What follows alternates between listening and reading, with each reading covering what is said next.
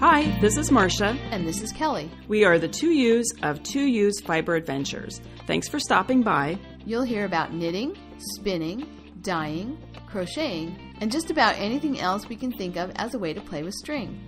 We blog and post show notes at 2usfiberadventures.com. And we invite you to join our Two Ewes Fiber Adventures group on Ravelry. I'm 100 Projects. And I am Better in Motion. We're both on Instagram and Ravelry, and we look forward to meeting you there. Enjoy, Enjoy the, the, episode. episode. Marsha, you're sitting right next to me. I know, Kelly. I don't have to say hello because I've been with you since Thursday. Yes. So here we are. We're sitting in the sunroom at Kelly's house, and we're sitting on the sofa, and we're knitting.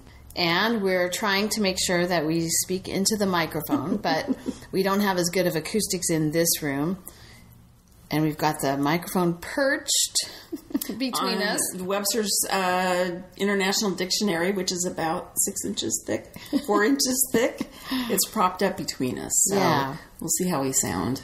So, Kelly, lots to talk about. What are you working on? Well, oh no, finished projects. What have you finished? I haven't finished anything. Okay. So I don't have anything that I finished, but I made a lot of progress on the Havannah tee I was working on that at the retreat, and I am all the way down the body, about just a little bit above my belly button. So I just need to keep going. You can stop there. No, I don't think so. It'd be a look. yeah, that's true. A look. Hmm. so yeah, I'm really happy with it. It's it's coming out really really beautifully. I love the yarn. It's the Dragonfly Fibers Dance Rustic Silk. And it's, it's a very pretty color. Yeah. Really nice. Yeah. yeah. And I like the way the yarn feels and I like the way it it knits up. It's 100% silk noil. So it's this silk waste, but it makes a really beautiful yarn and it's fingering weight, so it'll make a nice a nice t-shirt. So it's the pattern is uh, Havannah, but it's spelled like Savannah, not like Havana, Cuba. And it's by Heidi Marie Kaiser. Oh, and I think the last few times I haven't remembered the color of the yarn mm-hmm. that I bought, but it's I looked it up and it's called Winter Woods mm-hmm. is the color of that yarn. It's a brown with some rust, kind of a taupey brown with some rust color and some just um, every once in a while a like spot of a dark, dark, deep, uh, like like eighty percent dark chocolate mm-hmm. brown. So I really like really like it. And then the other thing I was working on at the retreat that I made pretty good progress on is the Edie that I'm working on. In fact, we were having a little Edie Palooza at mm-hmm. the at the retreat. Um, and the Edie is a pattern by Isabell Kraemer. It's a t-shirt, V-neck, top down, and I'm using a yarn called Linen Concerto. And it's in it's a the color is called Ocean Splash, and it has uh, turquoise. It's it's kind of a neutral base, and then the neutral base has a turquoise and a green, kind of variegated so when you when you I was a little worried knitting it up. I wasn't sure what was going to happen, whether it was going to be kind of blotchy or whether it would pool. But it's working up kind of into stripes, mm-hmm. although they're not. They don't have like hard definition. Yeah. So, but it's not really pooling. No, it's yeah. it's really um, it's really nice. And I, I was worried because I thought, well, is it you know when you when you work this pattern you work it flat until you join at the bottom of the v neck and then you start working it in the round. Mm-hmm. and so the stitch count really changes and the way of knitting it changes. You know you're doing all those increases so the number of stitches increases significantly uh, between the start of it and the where you join where you join it you know at the bottom of the v neck and so I was worried was there going to be a dramatic difference between the way it was striping up or pooling and it, it's not it's really it's coming out really nicely so I'm very excited I think that will be a great shirt to wear so What are you uh, knitting on right now, Marsha? Well, that segues into what because I'm also making the Edie uh, T-shirt by Isabell Kraemer. I'm using Hempathy uh, in the it's called Tan, and I am now. Let's see, as you as you said, you work at flat, so you do the V. I had connected the V at home, but on Thursday on the plane on the way down, I put the uh, sleeves on waste yarn. So I've been from the underarm down, and I've done what seven and a half inches, I think. Yeah, that I worked on at the um, uh, at the retreat. So I worked on the Edie most of the time at the retreat, and then I would take breaks and I would go and work among work on the the shawl I'm making called Among the Shadows by Kelene Kinnersly, and I'm using Entropy by Feederbrook uh, Farms and the colorway Absolute Zero. And I made pretty good progress on that. I have uh, just a two inch ball left. And last night, Kelly and I were talking about how I want to use up all of that yarn. Um, so the I should say about the shawl is it starts out with garter stitch and increases on the edges, and then you move into um, bands of stockinette and garter stitch, um, and then you finish with a ribbing, a two by two ribbing. And so it says, I don't remember now how many rows you're supposed to do, but I decided I'm just going to do that ribbing until I use up all the yarn. But I need to allow enough for binding off. So last night, Kelly, you said um, uh, weigh the ball, uh, the ball of yarn, knit a row, and weigh it again. So I did that, and I'm using two grams of yarn per row. Okay. And I just looked it up before we started recording. I have 18 grams left. So I'm gonna figure seven, Seven rows, rows. seven rows, and then I'll bind off. Yeah, and then you'll have a little tiny bit of yarn left over, but that's better than running out partway through A the bind up. tiny piece of yarn that I will save probably and put it in my scrap box because that's what I do. and um, Well, and you you were mm-hmm. mentioning earlier, and I don't know that you ever mentioned it before. I don't think I realized that that yarn is blue face Leicester, yes, it's very. How would you describe the feel of that yarn? It's very. silky. It's silky and it's kind of poofy. I mean, it's very soft. It has a lot of. Is that sti- would you call that stitch definition? Mm-hmm. Yeah. Um, it'll be interesting to see what it's like after I wash it because I will admit I did not do a swatch. I just I knit a little ga- a little swatch. I'm like, oh yeah, it's it's good enough, and started knitting because they they said actually gauge was not critical in this um, pattern. Um, so it'll be interesting to see what it's like when it washes. But I really like the feel because it is ha- that really smooth feeling, but it's kind of um, bouncy Yeah, it has some body springy to or it. something, Yeah. So Okay, I got another 10 foot section. All right, we have a guest at the podcast today. Did you hear that? Robert's got another 10 foot section of the pipe that he's using for the shower drain, On the sauna. for the sauna. so It works. will And we, it- and it have a- works. will we have a drain tonight? The drain is there, the drain works. The answer is yes. Then. But I don't think you should probably use it yet. oh, okay. All right, I won't then.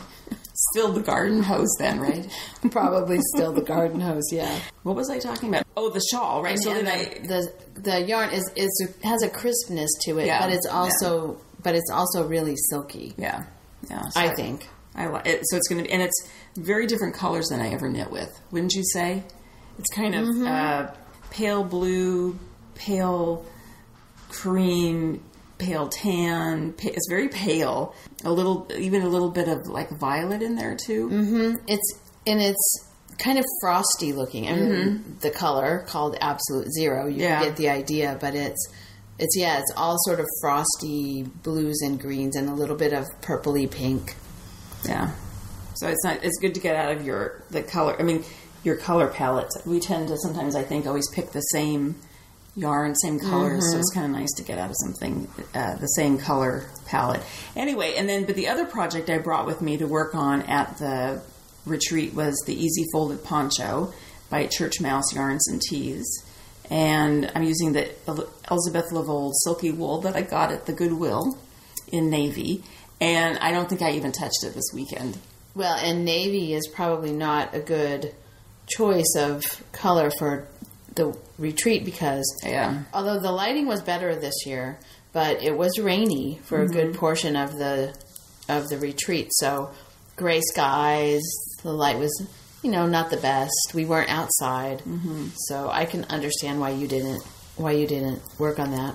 Well, it, it wasn't so much that. It's just that I was really wanted. I, I was hoping to finish the shawl there at the retreat and make good progress on the the Edie. Mm-hmm. Um, so anyway, but that's coming along. So that's it for projects. I right. I have nothing to, nothing done. Oh, I know. I have to tell you too. I did bring my um, I know exactly what you're gonna say. my much traveled and unfinished Pismo Beach socks. Someday I uh, really am gonna. I don't normally have a bottle of champagne when I finish a pair of socks, but I think this pair of socks I may have to. That pair of socks would be yes. I think they would be champagne worthy. They've been on the needles for for quite a while. Anyway, which we'll talk about it later, but we did make a trip through P- Pismo Beach, We did, yeah. and I brought those socks with me, Kelly. they were in my project bag. In They the got car. to they got to return home for the moment. Anyway, that's it for projects, but we should talk about the retreat. yes.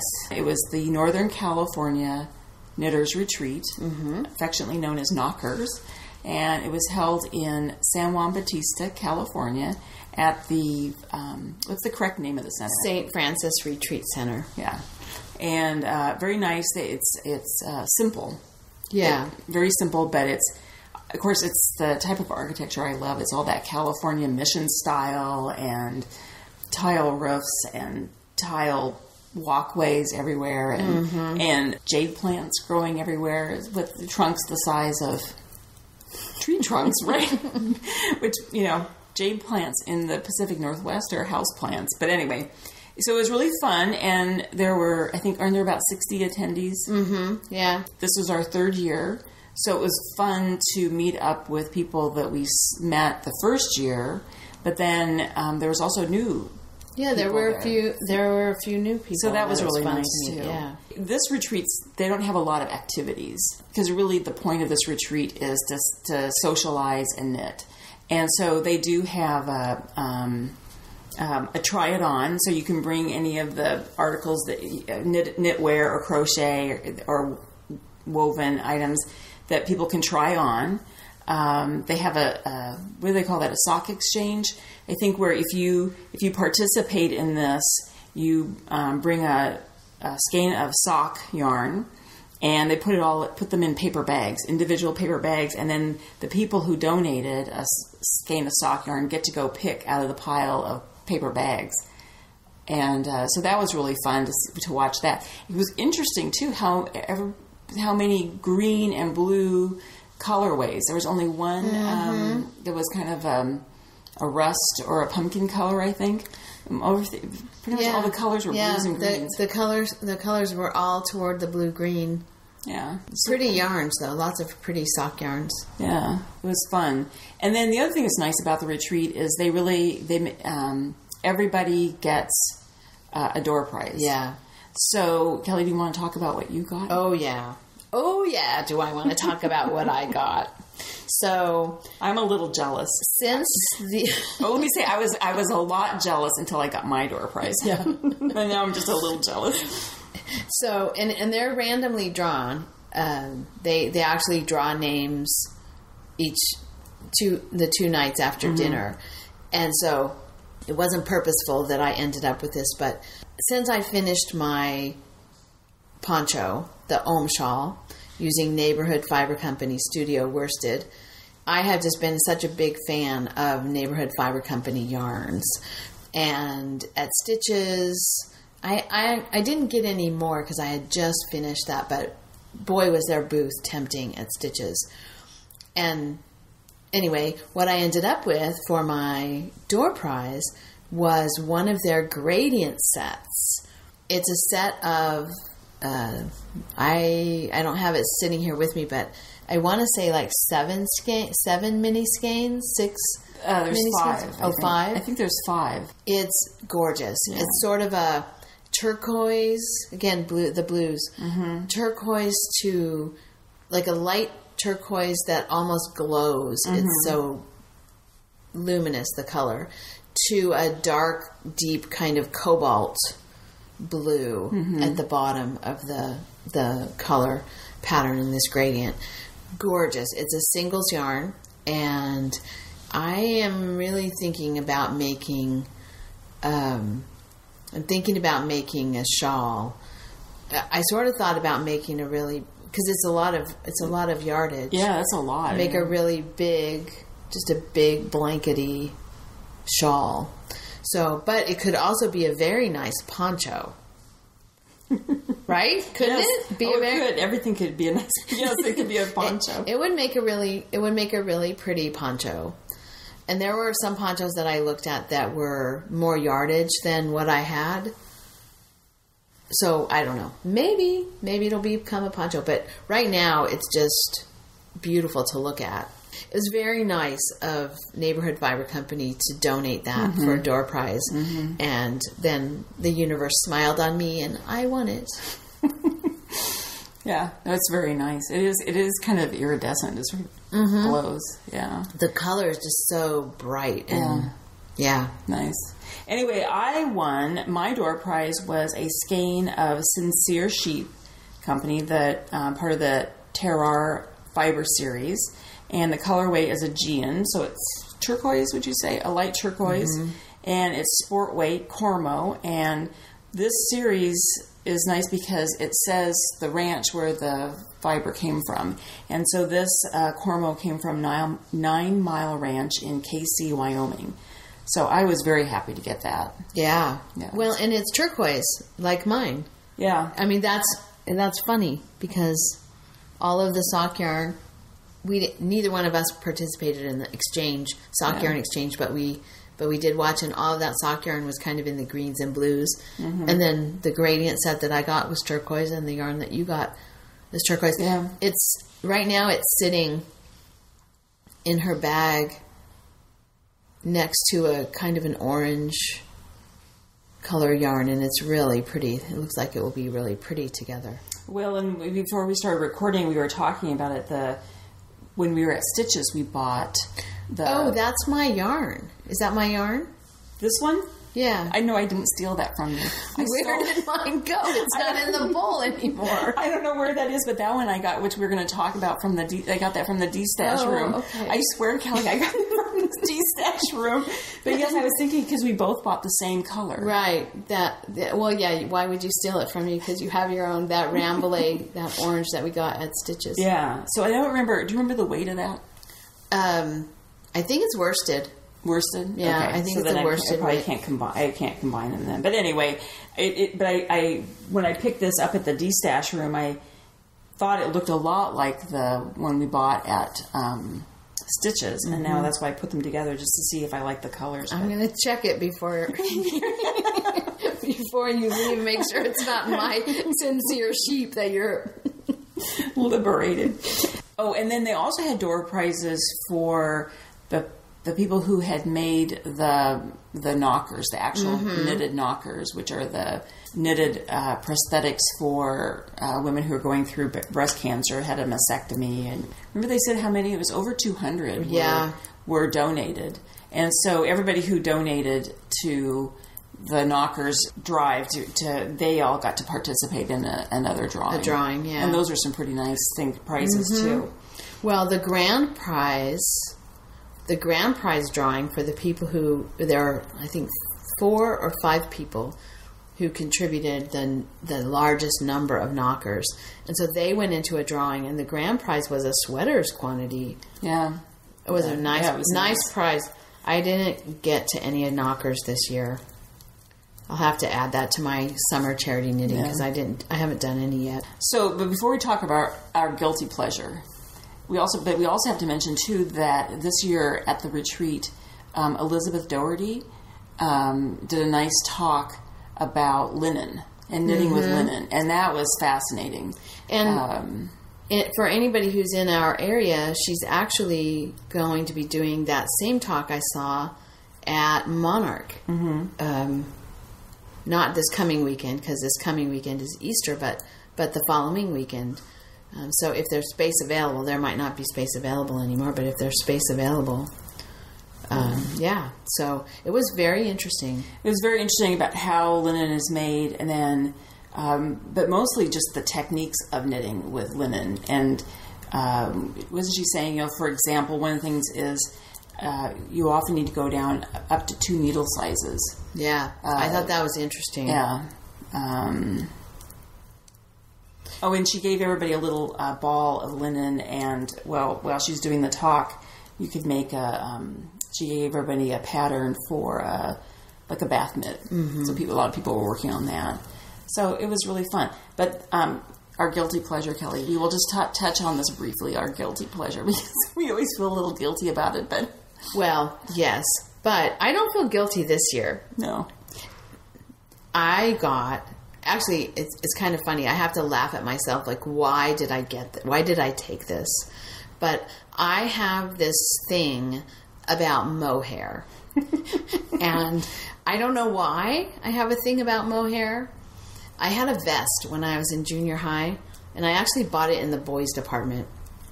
It was like a brown kind of argyle pattern vest, mm-hmm. brown it with the orange stripes, the orange, pale orange argyle stripes, and it was mohair or mohair-y, I don't know, something similar to mohair and and furry. And oh my gosh, I loved that vest. And then, do you remember in college, Marsha, the black sweater that I had? I had a black sweater that I found at the Goodwill. and I'm actually, I have been on a search for a similar sweater pattern for a long time. It had an enormous shawl collar. The shawl collar was so big that it kind of went down and covered over your shoulder like a second layer. Mm-hmm. And it was a little bit moth eaten. but um, there are pla- few places where it was a little thin. I think the the uh, the the hairy part of the mohair had been eaten off, but then I wore it with a belt. I had it didn't have any closure, and so I think it probably had like a belt tie that had long since disappeared, and I cut off the the little things that the belt you know mm-hmm. tie belts go through. Mm-hmm. I cut those off, but I used like a know leather belt, and I wore that as a coat all through my probably my junior and senior years in college. I loved that thing. Oh my gosh, it was my favorite. It was my absolute favorite garment, and I've been looking for a sweater pattern. you don't have it. What happened to it? You know, I'm not sure. I don't remember. Uh, I'm well. It probably went in the Goodwill at some point. You know, back to the Goodwill at some point. But I don't really remember the moment of doing that. Maybe because it was so traumatic. blocked it. I blocked it out. so anyway, I do have a thing about mohair, and for some reason, probably because it wasn't real mohair. I think it was though. Anyway, it it didn't really make me itch. Hmm. And maybe also because I was wearing it as a coat, so it was always over, Over multiple yeah. layers. The winter in Walla Walla was pretty cold. And so, anyway, I love mohair, even though wool makes me itch and mohair really makes me itch. Um, but I got, so to get back to this, get off the tangent and back to the main story, in the destash room were three, count them, three skeins of Schaefer Yarns mohair, hand dyed in the Rosa Parks colorway and it's a kind of burgundy with a little bit of orangey pink and dark um, maybe like a dark brown would you say i don't have that with us either It was like a char- it's like a dark black char- or like or, charcoal maybe gray. A, maybe a gray Yeah. yeah, so anyway i couldn't resist so you're making that coat. I think i might have to i don't i don't know that there's enough to make that coat there's only like 800 i think there's like 800 yards. But i think i might make a vest. It won't be a pullover argyle vest like the one i bought in the boys department when i was in seventh grade but i think i'm going to make a furry vest Okay. stay so, tuned then, so after you knit, then do you brush it or something? What do you? yeah do? i'll i'll You- brush it so it's really furry Ah. right now it's a little bit matted In fact, it looked like it was fiber. It was on the table with the fiber. Yeah, didn't even, you had to show it me that was yarn. I didn't even see that. it Well, and I was I didn't I thought it was fiber too at first, and then I and then I looked at it more cl- closely and saw that it was actually mohair yarn. So yeah, that was one of the things I got my big my big score from the destash room, and then the other thing that I got in the destash room is there was a bag of cotton yarn, just little balls of leftover cotton mm-hmm. yarn, and so every time I would go in the destash room, if I saw another ball of cotton, little ball of cotton, I would put it in that bag. And I thought to myself, okay, if this bag is still here on Sunday or Saturday night, if this bag is still there on Saturday night, I'm taking it. so, so all day Friday and Saturday, I was every time I'd find a little ball of cotton, I'd add it to the bag. So I brought home a pretty good sized bag mm-hmm. of cotton scraps to add to my cotton stash. I have a lot of scraps of cotton. So, what do you use the cotton for? I have this idea that I'm going to use them for for dishcloths, but I also um, I also like to have them because they make nice uh, warp yarns. If you're doing a cot- like a cotton baby blanket, or if you wanted to do the most of them are a little thick for dish towels. But if you wanted to do like placemats or a table, you know, a table runner, you you can go through one of those little balls with just like, depending on the size of the thing you're making, maybe one or two warp threads, mm-hmm. you know, and so so you can get a nice variation of color where you have a couple warp threads of this color and a couple warp threads of this other color, and the baby blanket, the Fiesta baby blanket that I made for um, a friend at work was made that way.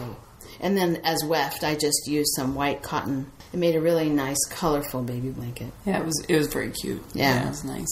So I have more cotton in my cotton stash. Well, I don't need to talk specifically what I got. I just picked up.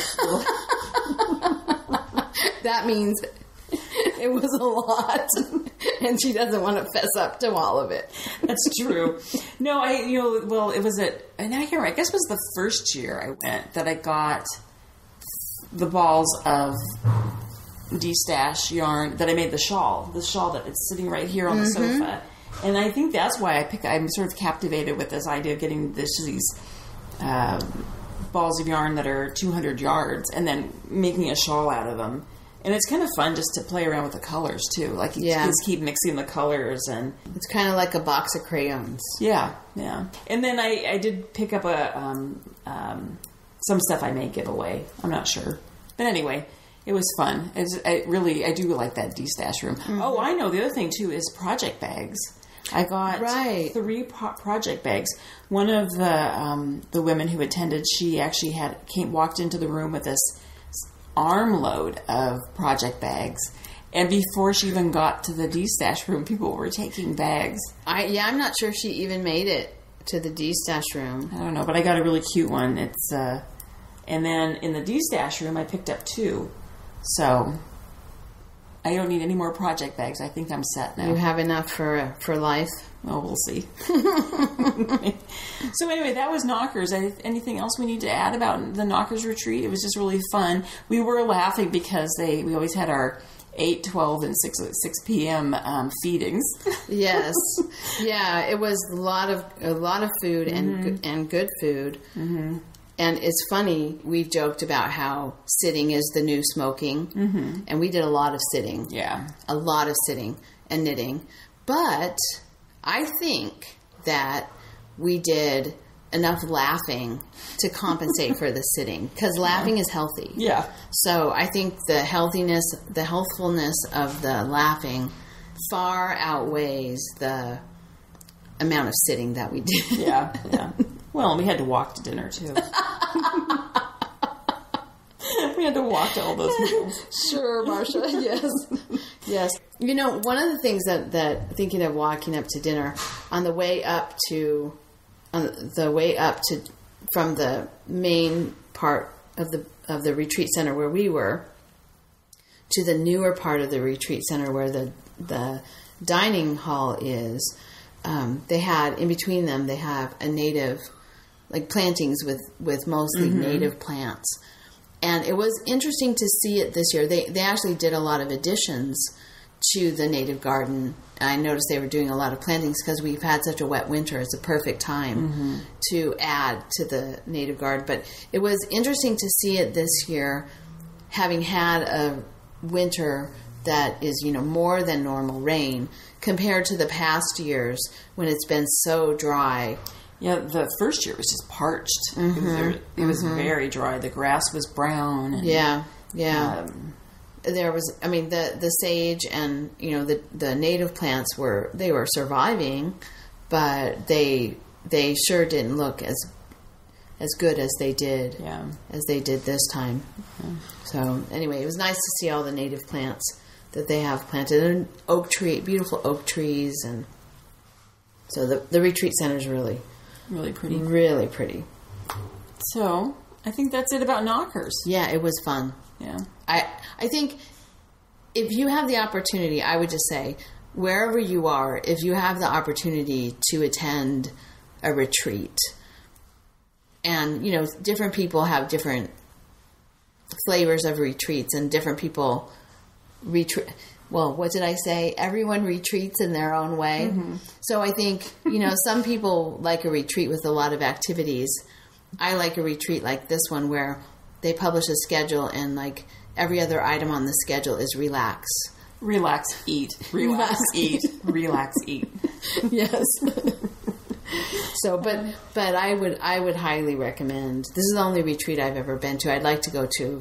I'd like to go to others, but I just think if you have the opportunity to go to a retreat, I would say do it. Yeah. It's very fun to get together with like-minded people and mm-hmm. just get inspired by what they're doing, what they're knitting, what they're working on.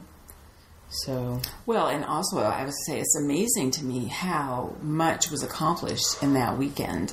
I mean, some women knit so fast, and men too. I'm mm-hmm. assuming, but there were only women at this retreat. But watching them knit, they're, I mean, Yeah. you know, if you could harness that energy. You could mm-hmm. power a small city. No, I'm kidding. I don't know, but like some women really knit fast and produced a lot this Yeah, weekend. yeah. it was, it was really fun to see. I don't knit that fast, but anyway, well, you made good progress too, yeah, though. I did.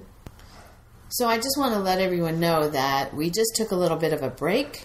And while we were on our break, I went looking for my sincere sheep, She was on her way to go through my suitcase. but I found it. and where was it, Kelly? It was downstairs on the dining room table. Sitting in the middle of the dining room table. Anyway. Yes, yes. Yes. So Marsha didn't steal it, just so everyone knows. she has been. Uh, she has been. Uh, I'm the model house what, guest. what's that? What's that? What is that called when you're? Um, she's been acquitted Oh, acquitted. Yes. of her crime of yarn Yeah. theft.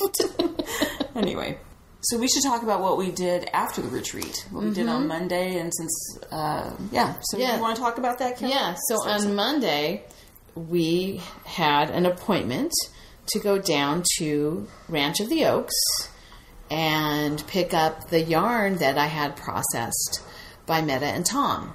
So I had left with them.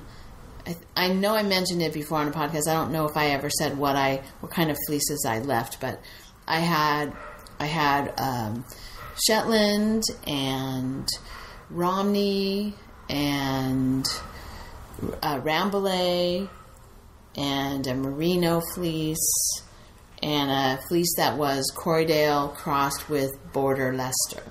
So I had left those with them back in the beginning of December to be processed and they were ready and so we decided that we wanted to go and pick them up while Marsha was here so she could see their their milling operation which is mm-hmm. really I think it's really interesting. Mm-hmm. I if I had a space and also not the job I have right now, that would be just an interesting thing to learn how to use all that machinery and just do milling. I, I just think that cottage cottage milling, cottage industry yarn mill is just a really a really interesting way to. Um, I don't know. I just think it's a really interesting part of the yarn business.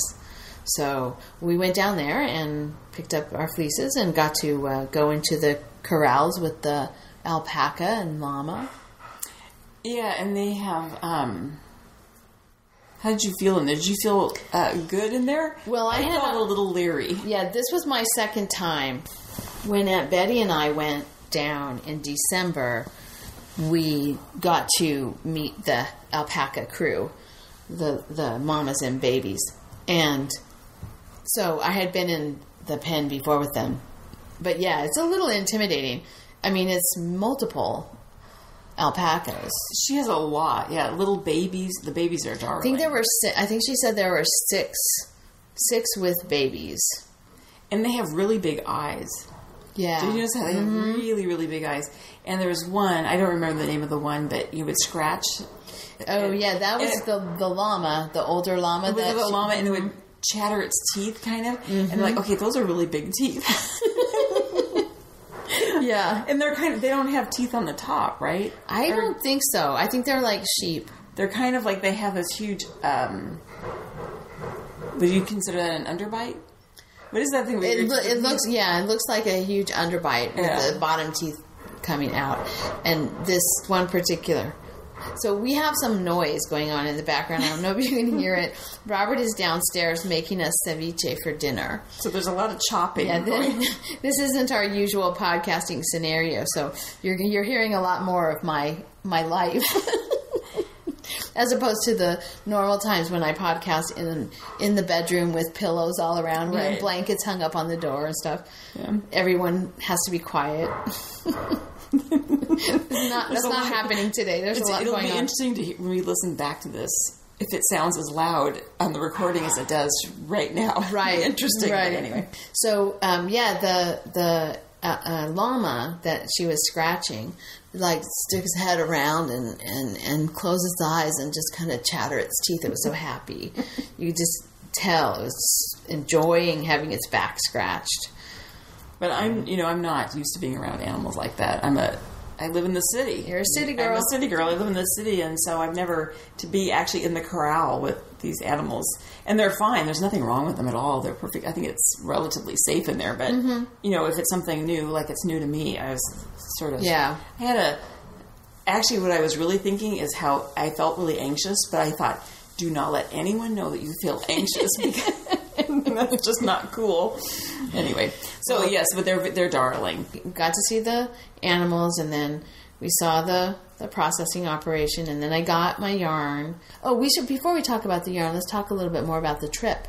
Yeah, So on the way down, we stopped in San Luis Obispo and we stopped there because there's two things. There's good food there, mm-hmm. and also because we wanted to stop in at Yarn at the Adobes.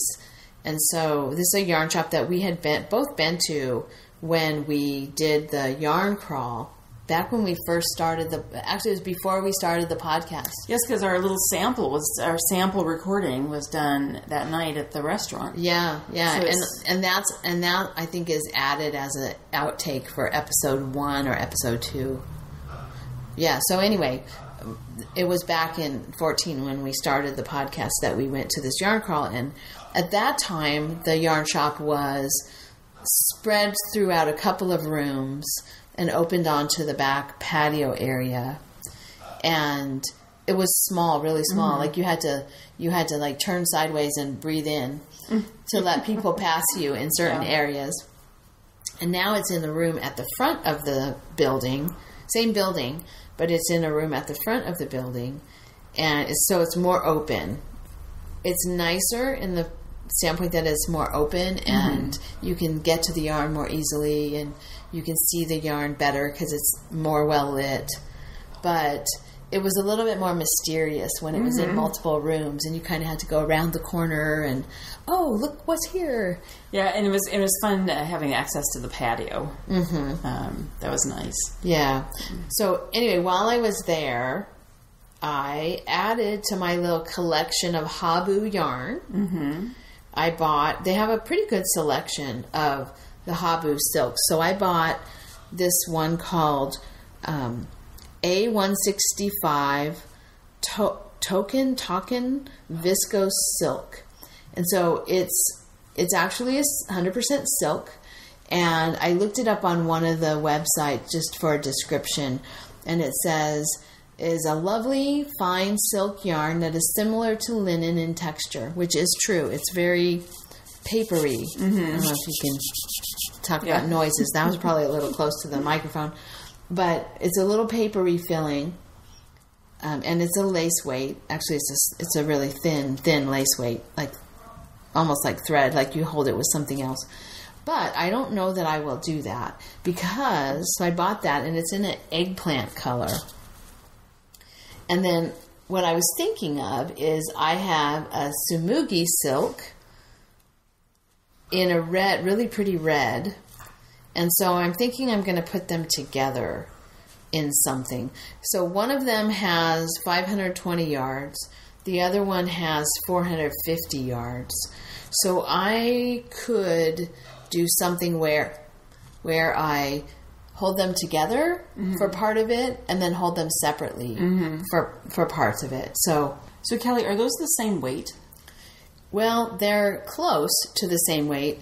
The eggplant colors silk is a one slash 20 mm-hmm. Those are the weaving weights that weavers use for the weight of the yarn, and the the one just means it's a singles, but the twenty has to do with how fine it is. Okay. So the 20 is a pretty fine yarn. And then the Tsumugi silk, the red one, is a 217. So it's a two ply, and then its weight is a 17 as compared to a 20. So it's a little heavier, but it's not significantly So the heavier. smaller the number, the heavier the heavier yes, the weight. Okay. Yes. It has to do this the number the 20 and the 17 have to do with how many hanks you can get from a pound. Hmm. Some it's it's kind of an anachronistic measurement from old time weaving and Sort of like shrimp. Like shrimp or, you know, Mm-hmm. like it's, what do you call them? 12s, 10s. I don't eat shrimp so I'm not sure but I know what you're I know what you're talking But about. the number of shrimp. It's how many fit in a box or, or, like- per pound. Yeah, like the number of shrimp per pound is then the number that's uh, for the size. Yeah. Anyway, So anyway- sorry, that's a. But no, it's this, it's the same idea. Yeah. The twenty has to do with how how much you can get. The twenty and the seventeen have to do with how much you can get out of the same amount. But I am really happy that I remembered the red yeah. correctly because it, you know not every red would go with the eggplant. Yeah. No, those But- are really nice. But this is a red that definitely will. So I have several Habu yarns that I've had for a while, and a couple of them are really old, and I haven't ever done anything with them. So I guess listeners should not uh, hold their breath. yeah, yeah. waiting for me to make something out of it. But anyway, that was my that was what I ended up with from the and I didn't buy I didn't buy anything at at Yarn at the Adobes. At Yarn at the Adobe, I didn't buy any. It's a nice little shop. It's small, I think, pretty small. Yeah, it was- Yeah. So and then we went and had lunch. We had uh, bratwurst and sauerkraut at a Mm-hmm. place called the Grill in San Luis Obispo. So that was nice. And then We got back in the car. we got back in the car, and so it was three hours down there to Lompoc. Three, yeah, three hours to Lompoc, three hours back. So we were in the car for a long time. We got a lot of knitting done because Robert drove. Mm-hmm. and you would think that we would just be tired when we got home. Mm-hmm. It was, it was not super late. It was evening. Mm-hmm. But what was the first thing that I did? Can anyone guess what the first thing I did was? Oh, I can. You were here. I wound off skeins of my yarn from my mm-hmm. cones and wash them so that I could swatch with them the next day. So now I have little skeins of each of the types of yarn that I've been experimenting with. And I've made two swatches. I made a swatch with the Rambouillet that, oh my gosh, I love this. It's so nice. And I, actually, I love the merino too. It's also nice. They're both really beautiful. Mm-hmm. So now I'm swatching the Shetland, and I, I was doing it while we while we were recording, but I put it away because I, I think I want to try a little cable on my swatch. Mm-hmm. So just to see what they look like, but the yarns are really nice. I, Yeah, I'm they're really, really um, And- very nice. And again, these were not. I don't think none of my fleeces were the prize winning most expensive fleece in the bunch. We well at Black Sheep for sure we didn't get the best fleeces in the bunch because people st- ladies started lining up at Black Sheep Gathering right after the judging. They closed down the building for like an hour while they get ready for the show for the sale and you know arrange everything on the tables and there were people who left the judging and then went and stood in line Right. right and, outside the building And when they opened the doors, when they opened the doors, they literally started running mm-hmm. to Yeah. grab the fleeces that they wanted. Yeah, so so we did not get the primo, you know, most popular fleeces, and I am beyond thrilled with how well they turned out. It, just that you uh, really what it says is you don't need to have that. You spend a ton of money on the prize you're winning fleece. Just a to get nice yarn. well, I say a mediocre. No, that's not what it. But uh, but a, just a, a reasonably priced. Yeah, Um, you know, just a nice, nice. Fle- I mean, they're nice, nice. nice yarn. Yeah. Yeah, well, like the Black Sheep Gathering has, I think, has really nice quality fleeces, Mm-hmm. and the Monterey County Wool Auction also has nice quality Yeah. fleeces. But again, you know, they're not all, they're not all the, uh, what do they call it, the grand champion, you know, and and I'm I'm not sure I would be any happier with the yarn made from the Grand Champion fleece than I am right now. These Mm-hmm. Yeah. are really beautiful. Yeah. And the swatch, and, and I think the other thing that I think this says is you also do need to, before you make a judgment about a fleece or a yarn, knit with it. Mm-hmm. Until you have the knitted fabric, you don't know for sure what things are going to look like. Yeah. So, yeah, very pretty, and I'm very excited to swatch with the other. I have the Shetland is on the needles right now, and then I have, um, I still have a Romney to swatch with, and then the Lincoln or no, Corriedale Border Leicester cross to swatch with. So yeah, I've been having fun swatching, and then we've also had been having a lot of fun dyeing. Well, and before we get to dyeing, I'll say that I did buy some yarn at the Ranch of right. the Oaks. I bought some skeins of um, 60% alpaca, 40% merino. And it's kind of fun. Her her skeins have the name of the Alpaca. yeah the alpaca. So this is uh, daffodil, and we met daffodil. We did. Mm-hmm. was out there in the pasture, so um, that was fun. So I bought that. But anyway, yeah. So now when we came home yesterday, we started dying. We um, wound off Hanks. How many did we do? We had ten. I We had think. ten. Ten. and We did One- some, we each had one. We each had one of each type. yeah. And so then we start- started experimenting with dyeing. Some of the fleece is uh, white, and some are gray. Some are more brownish gray, have a little bit of a brown. Uh, and so we've been experimenting dyeing the grays. That's been really interesting. Mm-hmm. We've done a couple techniques. We like uh, wetting the skein and putting it in a mason jar and pouring the dye over it, and then putting it in the canning pot and letting it cook in there. Yeah, simmer, heat up. Yeah. Some took the dye well. Mm-hmm. Some colors. Well, I did one yesterday where I just put one color on it, and the I so I twisted the hank, put it in the uh, mason jar, poured one color over one side of it, and then my idea was the next day is I was going to uh, untwist it, retwist it again, and put it in, and then pour another color over. But it was quite pale. It doesn't really. We're, how would you describe that? It's it. Um, Which color are you? that was the one that I put just the blue. Oh yes, that was the marine. I think I put cobalt blue. Yeah, and the the merino. I put purple over that, and that the merino fleece seems to just like soak up the dye but not change color. Yeah. I mean, uh, mine is. It's a darker, it's a darker fleece anyway, which is makes it harder to overdye. But there's a quality about that particular fleece that the color of it, it can absorb the dye, but you really don't see that See it, color. yeah. It still just looks, it, It- still just looks gray. And then Kelly, because I never can remember which of these is which, but the one that you have over there on the arm of the sofa, the one that has that, sh- sh- um, th- that one, This Romney, the Romney. That one, um, we dyed some blue, and we dyed some with um, dusty rose and burgundy. And I'm trying to think what the other color was. I think it was the um, uh, the chestnut, Oh, okay. So the brown, a little bit of brown. a little bit of brown, and that one turned out is beautiful. It is beautiful. Uh, yeah. So you can see the dusty rose, the burgundy, the chestnut, and then also sections where it's just the, the natural colored fiber. Mm-hmm. Um, and it, it has such a luster to it. yes, the, when that the light yarn is so the- shiny. Yeah, it's really beautiful. And then we we did a blue green one too, Mm-hmm. and that's beautiful. That's the fleece that Robert bought.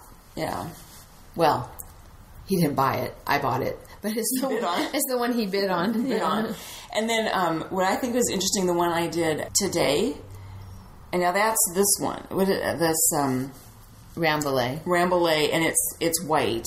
And that one I did um, bright Kelly green and lilac.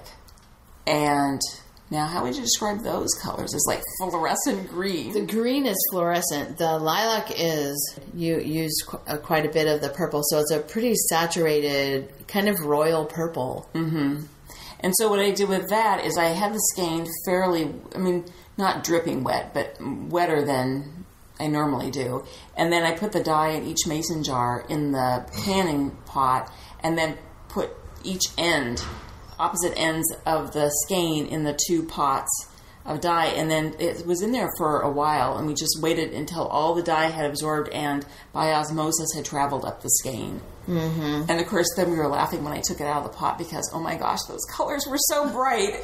and um, but then I just I over dyed it with navy. And have you seen it since I took it out of the I pot? I just I took it out. It's out. It's I just looked at it. I just opened the pot and looked in it a little bit a little while ago, and I thought, oh, this is pretty, but I wasn't registering that that's the one that it was. It Yeah. looked very different. It looked very different. And then the other one I think is so interesting is the one that I did with the um, chestnut and olive. and you left a lot of it.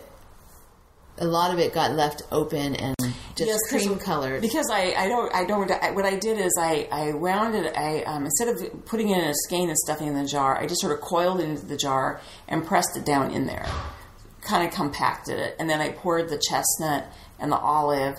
Oh, I know, and I mixed up a orange. Oh So right. I took yellow and red mixed together to make kind of an orange, and then poured that over the yarn, and then let it, you know, process in the canning jar. It absorbed all the dye, but when I took it out, there was these large. Uh, it, it didn't absorb it all over, so there's large Mm-hmm. There sections, sections that large didn't. sections that didn't have the dye, and then I over dyed with turquoise, and Yeah, that's, that's pretty. really pretty. It reminds me of sort of kelp and the color of the bay. Mm-hmm. It, it's yeah, it's it's pretty. It's a it's a Monterey Bay color. Yeah. So it's just been really fun to just experiment with these colors and then how the how the colors change when you put another color on top of them. Mm. yeah, that's been fun. I've I've tried I've done that some, but most of my dyeing I haven't done in two stages like this, and that was fun today. And then the one I did yesterday too, Kelly. You know the one where I um, um, I stamped it.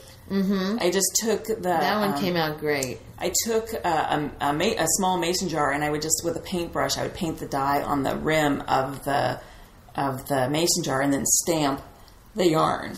And we were talking about I know you don't see it when you, when you actually finish it. You don't actually see it circle because the yarn's all you know reskeined.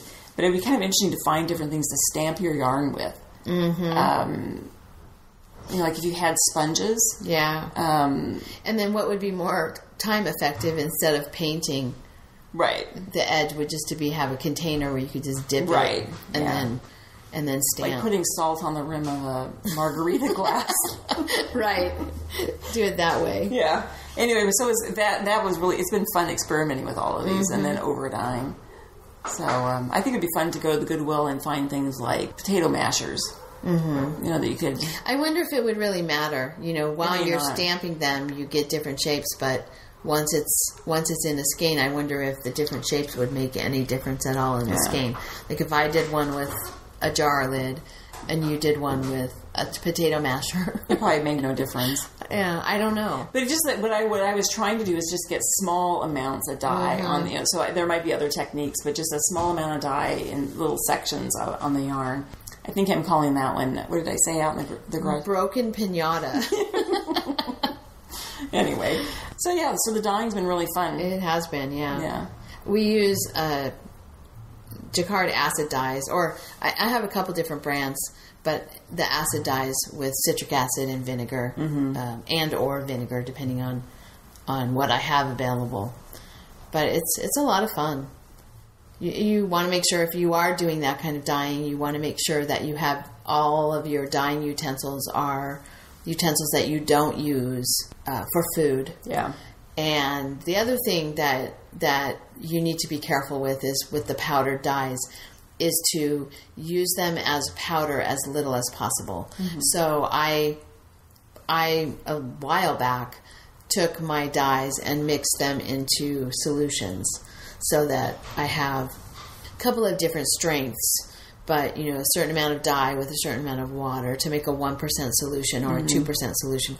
And then when you're then when you're doing your dyeing you you pull your dye from those jars of liquid Yeah. rather than always pulling your dye from the from the jars of powder because the dye powder is you you really should wear a, a respirator or a mask if you're going to be working with Yeah. with dye powder And then some of the yarn, you know, we put in the mason jars in the canning, canning pot. pot.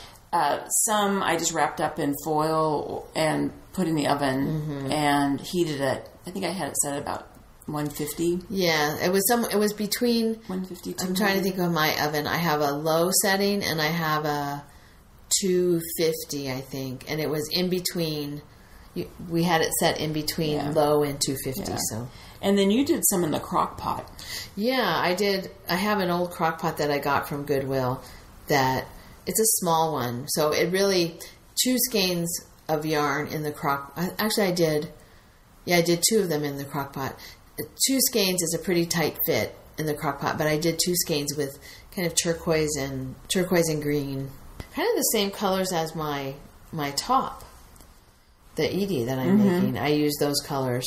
And so I did those and then overdyed one of them this morning with black, which I really like that one. It came out good. And then I, I did another one in the crock pot. I added a little a little bit more color, a little bit more brown to one of the others that I had been that I had dyed uh, yesterday. So yeah, we had a great time. That, that was really fun.